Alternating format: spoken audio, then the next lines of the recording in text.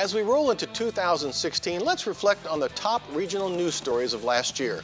I have two very popular guests with me next on Lakeshore Focus. Programming is supported by NIPSCO. Today's young minds are constantly reimagining what our world will be like tomorrow. That's why NIPSCO is upgrading its infrastructure now, so we're ready for whatever comes next. More information at nipsco.com/future.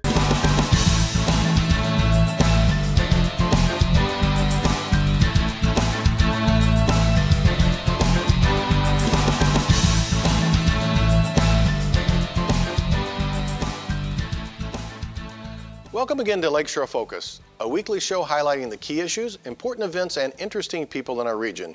I'm Keith Kirkpatrick.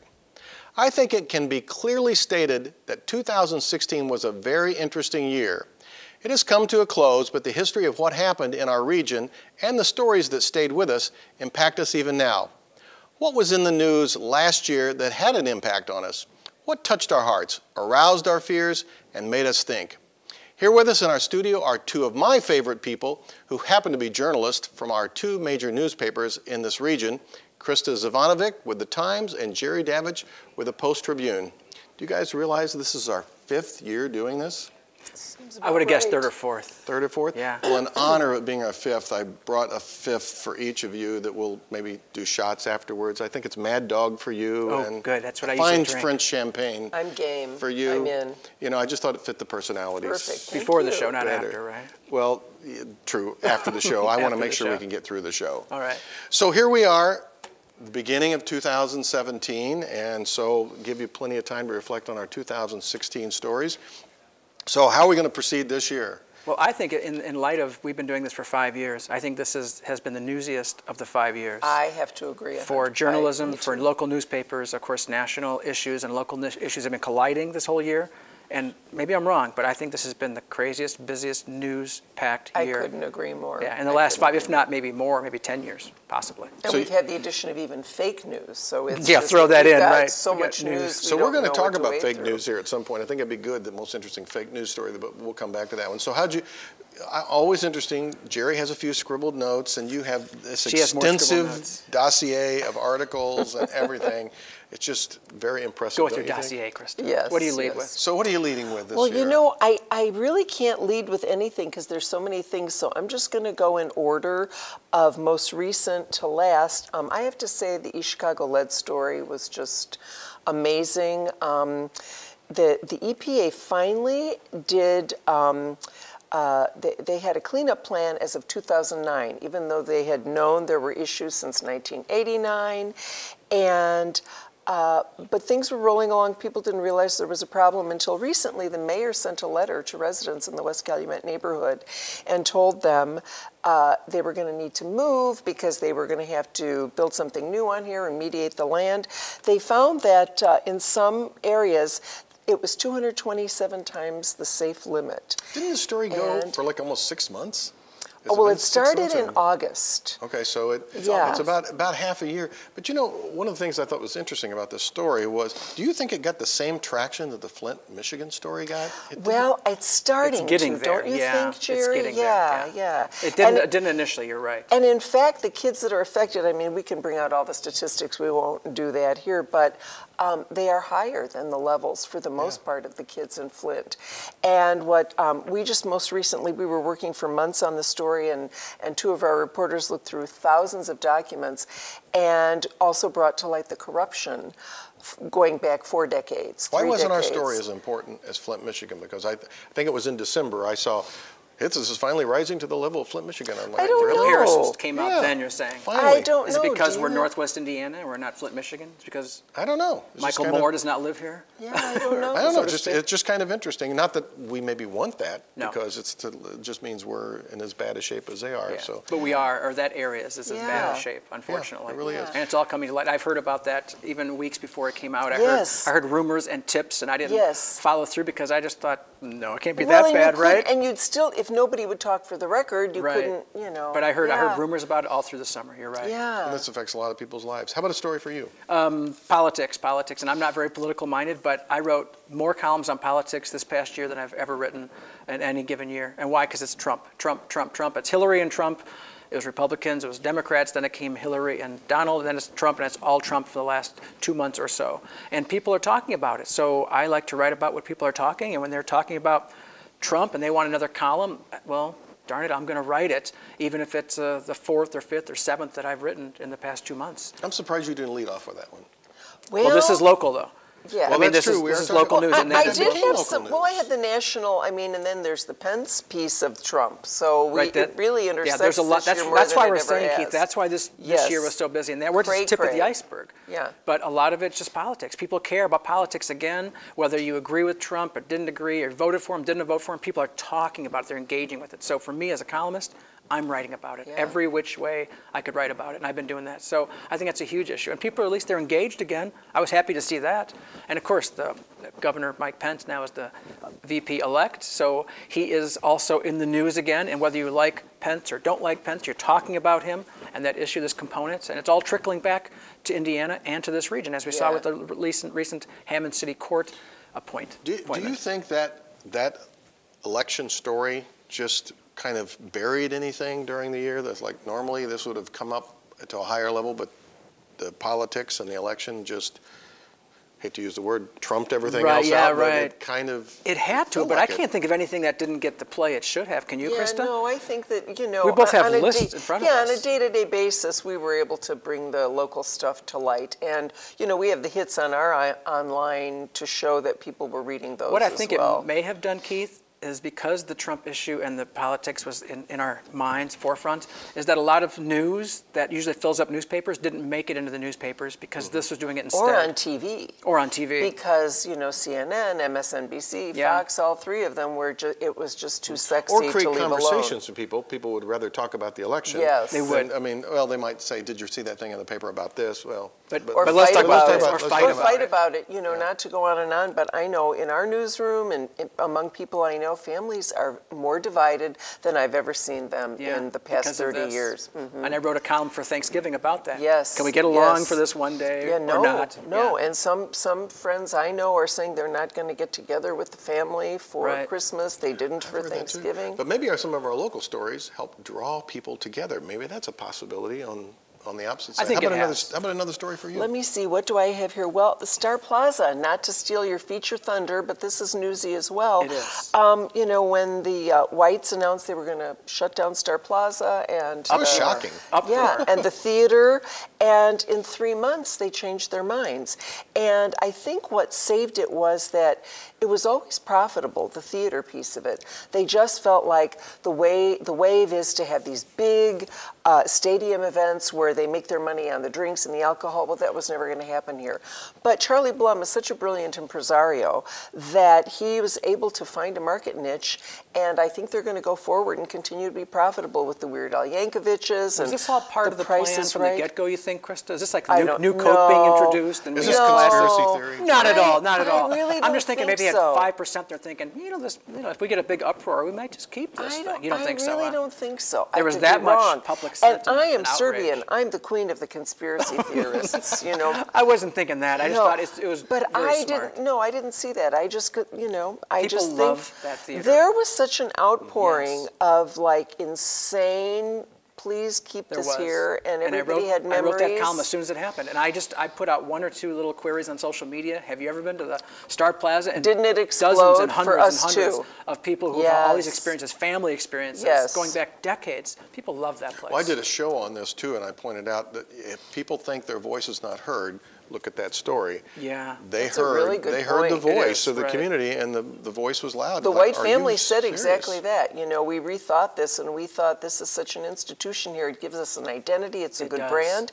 And I didn't realize it is the third largest venue aside from McCormick Place and the Chicago Theater. I didn't the know region that. here? Right, in- saved in the Chicagoland you know, area. John Kane says it saved the symphony. They're in their 75th year and Hmm. they thought they, they might go down if they can't have a beautiful venue. So it has much more worth than we thought. Yes, that is a story note right there. Yeah. It, and, and a story again that had some traction over time too. yeah, that was And part of my good and will news story. To be. Yeah. Yeah. that was a good news story I had. oh, you there's so did much good and bad. I just did. Well, just one of the. That was a good news though. 'cause Yeah. Keith always asks, "What's the good news?" That's Yeah. good news. Yeah.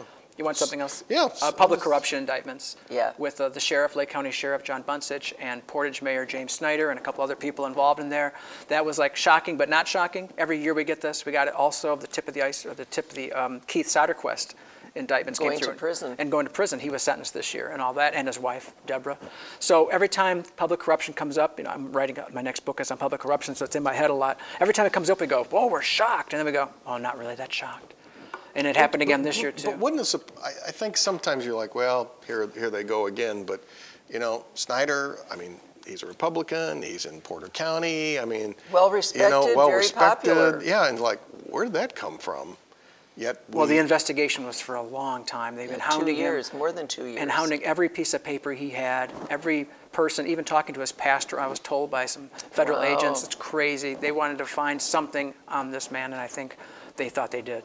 Well, given the press that he's also saying how he's going to fight this, it's going to be a story for 2017. Yes. This It definitely will going to be. go on for a and while. And the trial is supposed to be in January, so right after this, we should A- find And out. I was surprised by both of them too. It's funny because that was next on my list, so we're trading features for hard news. But I agree, I was surprised by both of them. And you know what surprised me? Maybe this is showing my venal side, but you know, Sheriff Buncich makes six figures.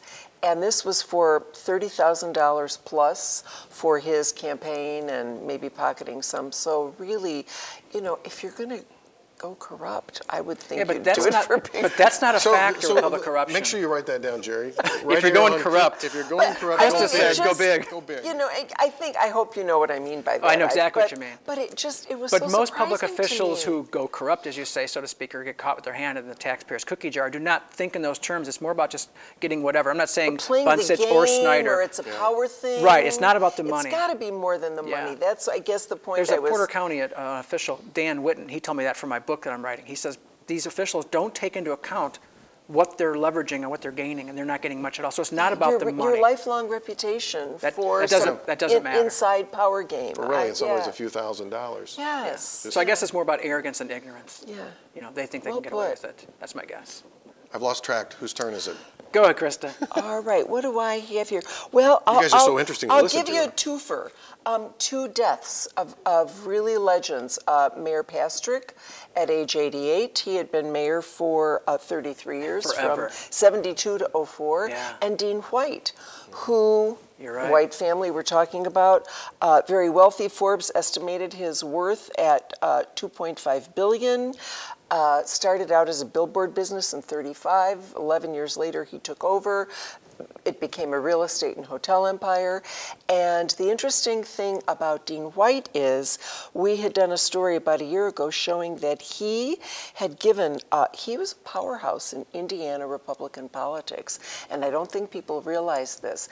He gave about 11% of the money that was donated to maybe the six top campaign funds came from Dean White. And um, between 2011 and 2014, he gave $4 million to the one, two, or three you know, top, he was the top donor for, for the first one, two, or three uh, people he donated to. And I think his death is going to leave a vacuum there. He was also great, you know, it, it wasn't a self-aggrandizer, really gave of himself to the community. and a diplomat of the region. Yes. Did either one of yes. you ever get a chance to interview him? Because he was No, I- really I've difficult. asked. I met him and spoke with Oh. him, but it was not in a, a, a venue where I would have been allowed to do that. It was just, hi, and nice I to asked, meet you, and they bye-bye. politely declined. He was up in age and didn't want to be interviewed yeah. again. I was really disappointed in that. Yeah. We- We gave him a lifetime entrepreneurial award a number of years ago, and I think we were able to film him real quick. He let us do it, and it was just, it was almost shocking. I'll But bet. I, I think those are two people who are like, I don't think people expected them to die, maybe. you know, Yeah, I kind they're institutions, and they're going to remain Yes. institutions. And opposite sides of the spectrum, all due respect to both parties. Yes. I mean, Oh, you look at that's Dean. White one way, you look at Robert Yeah. Pastrick in another way, no Yeah, doubt and about both that. from very humble beginnings and both Yeah. very ambitious, and both deemed, you know, um, Mayor Pastrick, despite his, you know, reputation and other peccadillos, everyone spoke highly of him and said he was a true gentleman. It wasn't an act. He was really a gracious, charming. and his fingerprints are still here. Yes. Just like Dean White's. Their Yes, fingerprints are still in the region. You and can them both all of them the place. just highly regarded as charming people. Again, some good Legends. Some good ammunition for future stories because there's going to be plenty There of will be. follow up to these. You know, the fingerprints, the, the Yeah. what the vacuum that's left from some of this. Yeah, they're this influential, leadership. no doubt about it. Yeah. You How about, how about the another one? Cubs winning the World Series, folks? Oh man, I almost forgot this one. We, Right. we can't forget it because it's such an important thing. We think that we're a bedroom community of Chicago, we're Northwest Indiana, but it's such a big deal in this region as well as Chicago. People lived and died with every game. I interviewed several fans in this region who literally saw every game, every pitch. I mean, there was that, you know, that kind of fan. I wasn't a, You're absolutely that much of a fan until I jumped into the end of the season, the playoffs, and I'm writing about it and that kind of thing, even though I go back you know, 30 years as a fan or 40 years. But it's a big deal to people. It made them, and I, I wrote in a column just kind of on purpose, why does it matter? Of these, of these millionaire baseball players, uh, they, they win some games, they get the World Series. Why does it matter to us? How does it affect our lives? And one old lady got back to me and says, it makes my day happier every day. And that's what it does for You us. know, I think part of this was how long people waited. I, course. I did hear a humorous story, which a guy who had season tickets for years, his daughter got married on the weekend of one of the major games, and he couldn't go to the. To it, oh, so, you gotta, so there's priorities. yeah, there's, priorities. there's Yeah, right. He, he probably said, "I hope my daughter's worth it." But I didn't want that to slip through our cracks. Well, you're right, because even in my important it is. neighborhood, for years, every time the Cubs win, W flags all all, over. over my, my Yeah. little neighborhood. So yeah, And look at the headlines in both newspapers. They're always there, of course. Right. In front, they, they, they transformed and gravitated from the sports pages up, up, up to the front page and became front page news almost every day. That was a good, another good news story too. I guess it was, yes, so of course it that's a good news story.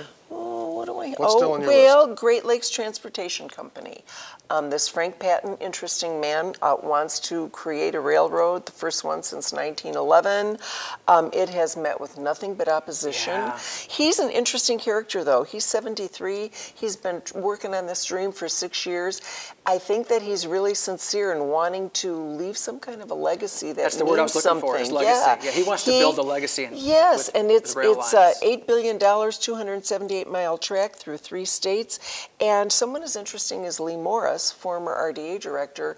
Said, you know, let's listen to it. Let's let's see if we can overcome some of the opposition because this really Is could it possible be something. to overcome I don't know. The opposition? Norfolk Southern, all of the railroads have said no, we're not interested. They have another plan called Create. That's a federal, state, local agreement to uh, do upgrades and track upgrades and Mm-hmm. things. But you know, I I personally am charmed by the romance of it and the idea of it. So Hmm. I don't know if it's going to become a reality. He's certainly trying, but it seems like there's opposition from LaPorte to Illinois against this. So to, to NIMBY, not in my backyard. Right, a lot of those people exactly. are coming out like any like they do for the Iliana Right. Expressway. Pretty interesting too to consider uh, someone who wants to do something for a legacy versus the impact in the community. So it's like, okay, is this about ego? Is this about you know what power? Back to you know why is somebody doing this Why? when Yeah. nobody seems to Well, really he told want it? Keith Benman, our business editor, after he had a bout with cancer, and after that, he just had a different view about the world and how to make it better, and he wanted to be a part of that. So I think he's pretty sincere. I don't So know if it's an ego build a thing. railroad. And usually, when somebody's older age, maybe this is me being biased in a way, I give them more of a benefit of the doubt because I Me think they're going out with something. This is my legacy. That was the word I, that he's probably And, thinking. and that Lee Morris, who I mean, not to cast it, but he's older Yeah, as he's an well. older and- guy, right. And They I want a think when you get to old, when you get to be a little older, you you are saddened that you see society is losing some dream, some ability to dream again, and I think that's true of us locally and nationally. they want to cash in all their chips. So someone asked you fake story real quick. You know what fake Chris story got the just best one. got Well, so much I don't know if it's the best one, but it's one of my favorites. So, uh, some Facebook friends were saying ABC News was reporting that uh, one of, of Obama's last acts was to sign uh, a directive that no school in the nation could ever say the Pledge of Allegiance ever again. And people were bashing him, and it turned out to, and ABC News disavowed it, but that never got to the people who to this day are still railing against this terrible socialist Muslim president who You know, the wizard behind the curtain with fake news is usually people want to believe it, and that's what propels it. Yeah. So there are a demographic of people, Americans and region people here, that we believe it, and we want it to be true, so we forward it, we share it, we want it to be. True. So it's not So really. those people really think that's true? You- Yes. you- they I want think- it to be true. I think they they want do. it to they be want true. be- So do you think they believe it's true? I do Oh, think yes, I do I think so. do. We believe it's true. I really do. oh Wow. Yeah, yes because a lot of them are my readers, and they contact me all the time. yes Did you see a fake story that you thought was like, wow, I can't believe this got so much traction? Anything involving Hillary Clinton that got the most ah, fake oh, news oh my gosh. on, on my social media sites, and people again want to believe it. No matter what it was, they want to believe it. So when you want to believe it, it's hard to dispel that kind of news. I can't go person to person, reader to reader, saying, "Did you look it up? Did you Snopes this? Did you whatever?" Right. People don't want to do that. They don't care. That's always amazing. That's the interesting that part. And they about Where'd you believe where there's smoke, there's fire, so it has to be. Right. Well, Well, you know there's got to be some truth to it. You know, it's like right. Exactly, That's- right. that's right. where you come That's up- the mentality. And that's right. the that's the problem, I think. Yeah. that- And that's we're all guilty of And that's that. what news organizations are up against facing Yes. 2017 with Trump in office, is that we're already against the behind the black ball kind of thing, and people are going to doubt everything we kind of write. You guys Even though we, re, we, at least TV, records him saying it, Yeah. yet somehow we're bashed for making him look bad. To talk about It's an interesting very year, scary. I mean, the press has always kind of got a hit. Yes. Man. Big hits. y- y- Yeah. People big questioned hits. um, And I mean, respectability. Yeah, and, authority. and, the, and the credibility rating for Right. press is like way down. Again, Yeah. back to people want to believe this, you know, like uh, the press is Yeah, we're so in biased. an age of rage. I personally don't understand it, but I'm trying to She be got away with objective words, fair didn't she? observer. Age so of do you. I liked what my you said goodness. earlier about I can't remember. But yeah, people was so are good. people are so right, enraged that I They I voted see- Trump into office. Well, and That's the how enraged they are. Disrespect is growing. I mm-hmm. think of our agencies, our bureaucracies, and I, I think that's a very bad slippery slope to go down. Civil and maybe, discourse. Yes. That's why this region has those roundtable discussions. you know, discussions. I like to think of myself as a patriot and that I care about these institutions, and it hurts me that all of them are, I, I don't know, you know, what's in our future to become like the Mad Max society? I- 2017 will tell us a lot. Yeah. I know. It's a real piece. So we've probably got enough time for maybe two quick stories each. If they got just what what did we miss here? Um, We're still- Pavilion Partners, the banquets. uh, uh, fiasco. It's called a mistake on the lake and bringing this development. Okay, he's got one now. Mistake on the Lake, Age of. Rage. You guys are Well, really good I'm at just saying this. this development on, you know, on national property and federal shoreline, that kind of thing. And people are, what I like about this is that it enraged people again to do something about it, to make these prop, these authorities, these business people go through the proper channels or. But not. it's still moving forward. Yeah. It's still moving forward. Still moving forward. Well, because if the state legislature wants it, Yeah, it's going gonna, happen. happen. Yeah. That's the bottom line. So But that's just to remind people, they're not going to be drinking on the beach. It's Right. it's going to be in a legitimate venue, whatever. Well, that's what I you guess, believe. So Yeah. fake Sorry. remember, we have bottles. Yes, That's oh, right, yeah. afterward, My last one is uh, Griffith wanting to secede from Calumet Of Township. course, of course. And they're going to be in court in March. Um, Calumet Township has sued Griffith, and Griffith is going to try and get a summary judgment, which means, you know, this is not valid on its face, throw it out of court. That's in early March. And that's over the fact that Griffith gives about $1 million a year to the poor Calumet relief. Township's not going to let And, go. well, you know, and in fairness to Calumet Township, the, the way the state law reads, every month people can come back and ask for money, and if they qualify, Calumet Township has to give it to them. So we're talking about 2.3 million to 17,000 people, mostly Gary residents, and this is why Griffith is upset. So stay Very, tuned. very upset. Yeah, really. A lot of this news is leaping over into 2017, Keith. That's, that's what I'm saying more than anything else. From the presidential election on down to local, to East Chicago, to Griffith, to this uh, banquet facility, everything's seeping over. It's ongoing, yeah. So, one quick prediction on what do you think the hot story for 2017 is going to be? If you could predict one story, you think, man, Locally, nationally, pick anyone. I you think want. something related to uh, Governor Mike Pence, who is now the VP, will be the VP, and it's gonna. He has his hands still in Indiana, and he's gonna want to do things in Indiana and Northwest Indiana. It already started with the Hammond City Court appointment, so to speak, and I think his Hoosier, you know, beginnings will seep into 2017 a lot more than we think. So, some interesting stories coming up up there. I think so. I think economy. I think the people who uh, thought certain things were sacrosanct, Social Security, Medicare, other things, I think you're going to see a big, scary fight starting with some of these things. Do you think something really bizarre is going to probably happen in 2017? Quick answer.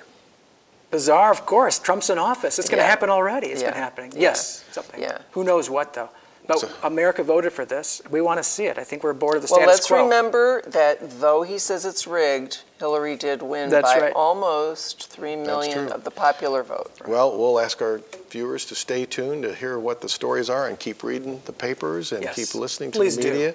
So uh, thank Yes, you, thank please you, thank you both. And next Thank year Keith. will be the sixth year, and we'll see so what we can do for a toast after that one. Where's my champagne? Yeah, Oh, later. Later. Yeah. Thanks. Thanks, Keith.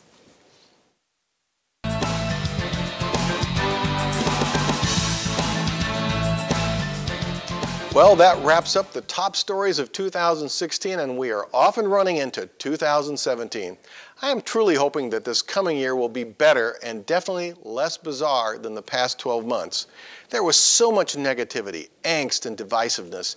I'm going to take a risk and perhaps sound like a stereotypical candidate in a beauty contest. My wish for 2017 is for world peace. I know you're probably laughing, but maybe that's what we all should not only be hoping for, but striving to make happen. Elvis Costello wrote a song some time ago with the lyric, What's so funny about peace, love, and understanding? We are quick to laugh at the notion of peace in the world, but it starts with each of us, our attitude and actions. How about a little kindness, caring, and love in 2017? We saw plenty of the opposite in 2016. Here's my second and final song quote to sum it all up Let there be peace on earth, and let it begin with me. Happy New Year. Thanks for watching our first show of the new year. How about this for your resolution? I promise to send Keith my thoughts and reactions to his show. Every once in a while is good. We really love hearing from you. Did you notice I used the word love? My wish is already having an effect.